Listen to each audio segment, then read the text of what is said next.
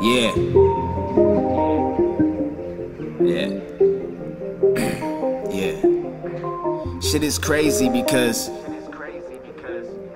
being cut from my cloth and being the type of man that I am thinking the way that you know that I've been thinking my whole fucking life.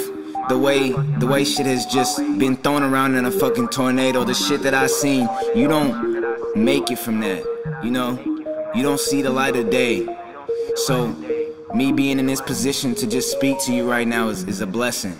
So from that, I'm just gonna say you know, my theory on this shit is like, whatever you experience is your reality, regardless if you think it's unreal, if, if it's irrational.